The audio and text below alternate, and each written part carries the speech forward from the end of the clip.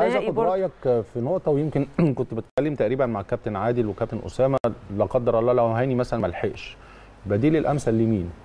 في الحتة دي آه يبقى هو لأن رامي لعبها كتير في ال- في الحتة دي وفي حمدي فتحي وجيد إن هو يقفل لأن أنت هتبقى محتاج أنا من. رأيي حسين الشحات لا انت انت عارف طبعا حسين أصلا back يمين يعني. أنا دي وجهة نظر فنية أنا رأيي يعني. إن هو عشان الحتة الدفاعية بس عشان يبقى عندك لازم الب... بالذات الاثنين الباكين يا كابتن هاني أنت عارف طبعا لازم يبقى عندهم القوة الدفاعية موجودة لأن مم. دايما أنت بتلعب على عنصر فعال قوي في الفريق ال- ال- المنافس. بيبقى لا مش بنشارع هيا كانوا زيرو يعني هم اللي عندهم آه، يعني عندهم عناصر كويسة طبعا. أكيد أكيد. سرعة ومحتاج اللي يلعب قدامه ده لازم يبقى لعيب قوي جدا دفاعيا.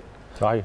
فحسين عنده النواحي. الهجومية تبقى أقوى بكتير فأعتقد إن الأفضل بالنسبة لي أنا حمدي فتحي أو أو رامي ربيعة رامي ربيعة. آه، رامي لعب المكان ده كتير مم. لعبه كتير وأجاد فيه في ال back right يبقى يلعب بس ما ي- ما يبقاش عنده نواحي هجومية يلتزم بقى بيبقى في خطة يعني في في تعليمات آه، يعني خاصة بيه إحنا طبعا كل ده بنتكلم إن شاء الله هاني يلحق بإذن الله يعني شاء إحنا الله، بنتكلم إن شاء الله. إن شاء الله هاني يلحق ويكون جاهز لأن هاني زي ما أنت ب- بتقول آه، في أعلى مستوياته بصراحة يعني. وده